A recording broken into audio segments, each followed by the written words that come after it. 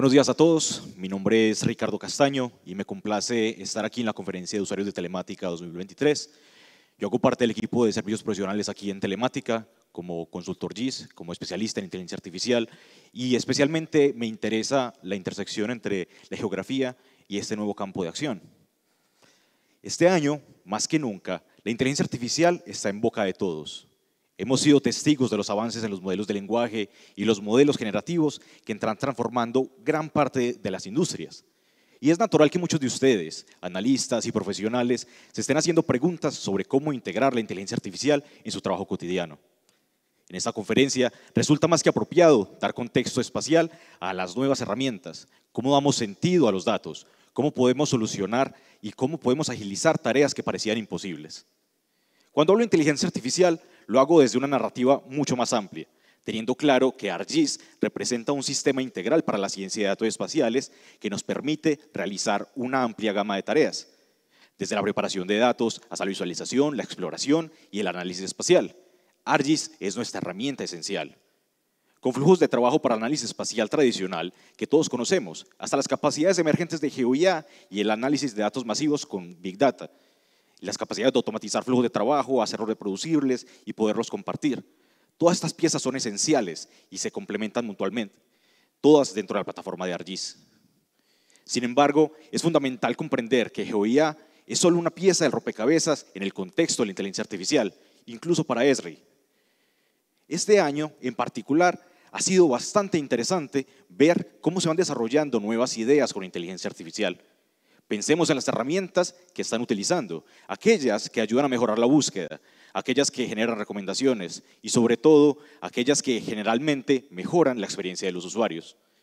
GeoIA toma todos estos conceptos y los utiliza para comprender mucho mejor las imágenes satelitales, las imágenes de drones, además de los estudios de los datos geográficos y el texto que tengamos para generar conclusiones y recomendaciones. Esta transformación de datos estructurados resulta bastante valiosa, ya que puede impulsar la toma de decisiones y la ejecución de las sesiones. Pero esto solo es el comienzo. Pensemos en la generación de información. Para nuestro contexto, los datos espaciales. Es la forma más destacada que influye la inteligencia artificial actualmente en nuestro entorno. Utilizamos estas herramientas para poder llegar a transformar imágenes y datos remotos en información rica que impulsará la próxima generación de análisis espaciales y la próxima toma de decisiones importante. Además que claramente podemos resolver problemas que antes eran difíciles o imposibles de abordar y acelerar tareas que llevaban muchísimo tiempo. Imaginen por un momento a un equipo de analistas de datos. En teoría, podríamos darle la tarea de encontrar cuántos edificios hay en todas las imágenes o de también delinear las líneas eléctricas de una foto en la práctica, enfrentaríamos un desafío bastante evidente, la gran escala de esas tareas.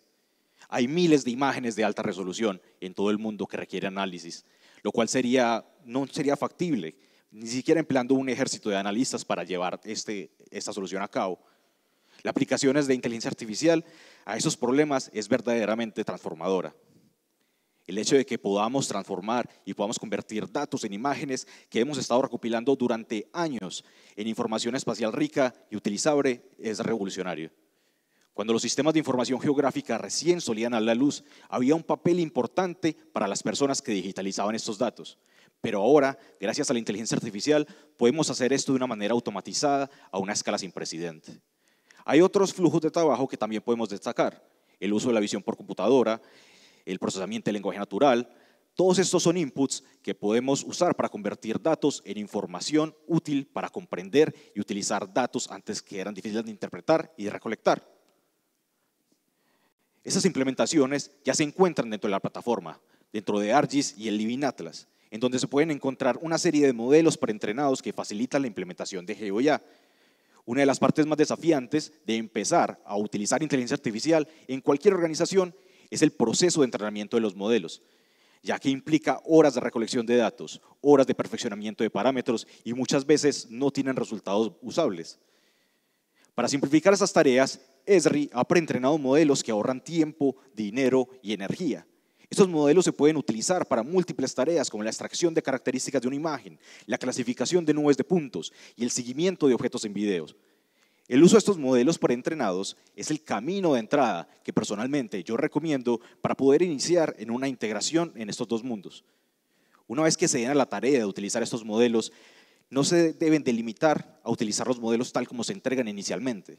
Pueden adaptarlos a su área de estudio y a su problema específico para mejorar su eficiencia. Son una base sólida que pueden utilizar aún más cuando se, eh, cuando se empodera y se personalizan.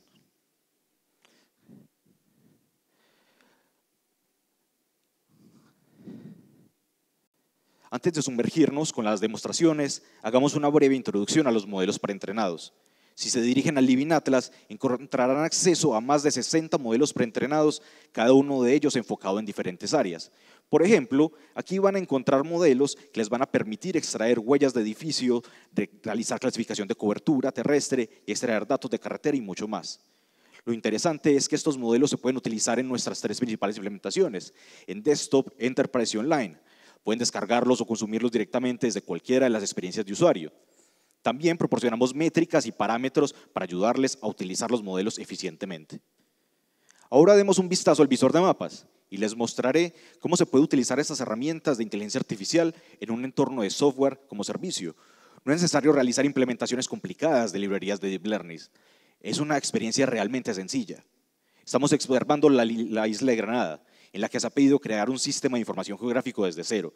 Se ha tomado una serie de imágenes, las cuales se han alojado en ArcGIS Image para ArcGIS Online, y para acceder hasta las herramientas de Deep Learning hacemos uso de Spatial Analyst e Image Analyst. En el visor de mapas se pueden realizar análisis utilizando detectar objetos utilizando Deep Learning.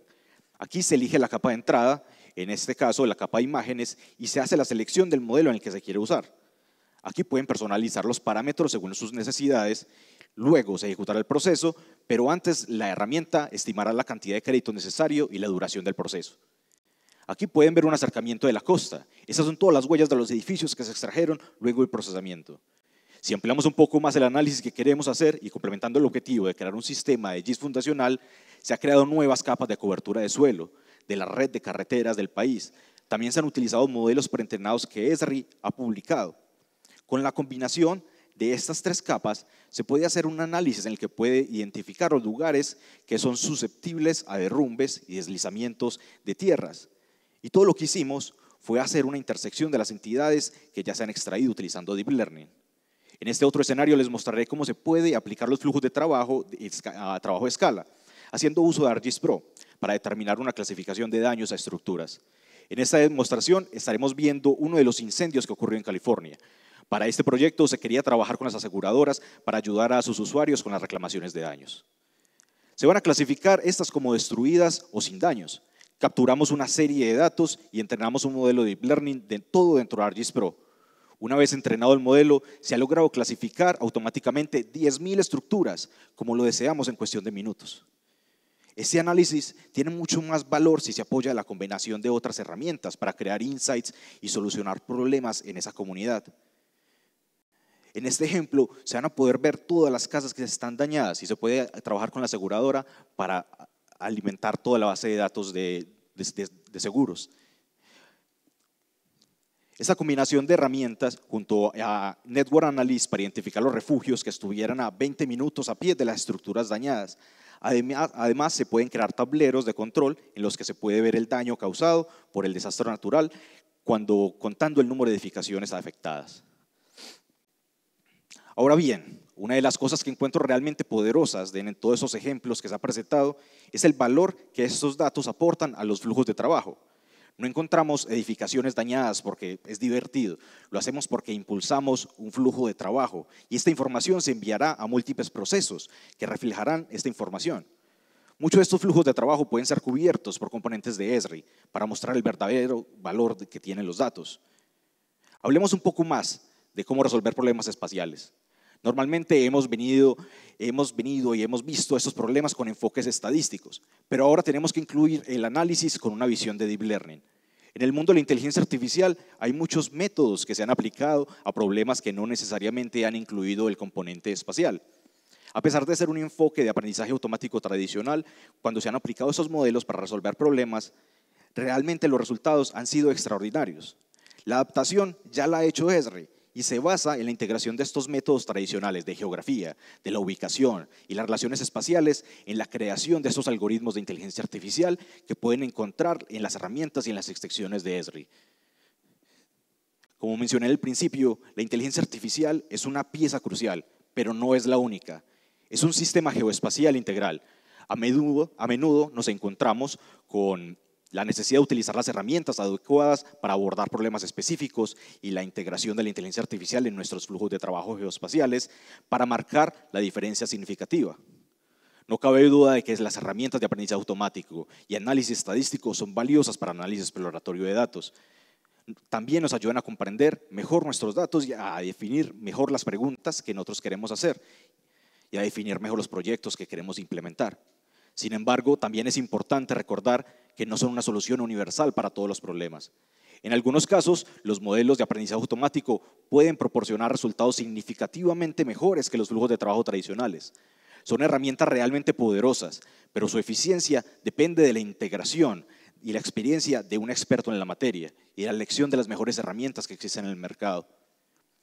Quiero enfatizar que la inteligencia artificial no se limita a un solo un aspecto del sistema GIS está encontrando su, nivel en la cartografía, en las estadísticas espaciales, en las analíticas en tiempo real, así como en las redes y grafos. La inteligencia artificial coexiste junto a todos los métodos tradicionales y se adapta a diferentes áreas. No existe un modelo único que se aplique universalmente, pero sí hay un conjunto de herramientas poderosas que podemos transformar, que pueden transformar la manera en que resolvemos problemas en diversas disciplinas. Estamos emocionados por las posibilidades que estas herramientas abren, ya que se están utilizando de maneras sorprendentes. Cuando se adapta el potencial de la inteligencia artificial junto con la experiencia geoespacial, estamos preparados para enfrentar los desafíos y las oportunidades que se nos presenten en el futuro. Hemos hablado de cómo la integración de la inteligencia artificial en el contexto geoespacial está revolucionando nuestra forma de abordar los análisis y la resolución de problemas. Sin embargo, con esta revolución viene una responsabilidad importante. El conocimiento espacial que poseemos es verdaderamente valioso para cualquier análisis y para cualquier toma de decisión.